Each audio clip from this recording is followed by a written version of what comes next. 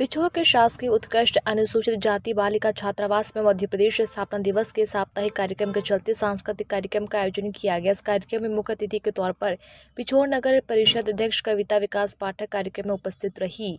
छात्रावास की बालिकाओं ने सांस्कृतिक कार्यक्रम में बढ़ चढ़कर हिस्सा लिया और धार्मिक गानों पर अपनी प्रस्तुति दी। नगर परिषद अध्यक्ष कविता विकास पाठक ने छात्रावास की छात्राओं को प्रोत्साहित किया और उनके उज्जवल भविष्य की कामना की। इस अवसर पर पत्रकार राजीव निखरा, पत्रकार सचिन राज भट्ट और अखिल भारतीय विद्यार्थी परिषद के पदाधिकारी दीपक पाल, चंद्रशेखर त्रिपाठी और अन्य गणमान्य नागरिक उपस्थित रहे। कार्यक्रम के अंत में छात्रावास की अधीक्षिका विजया त्रिपाठी द्वारा आए हुए अतिथियों का आभार प्रकट किया गया। संवाददाता सचिन राज भट्ट की रिपोर्ट।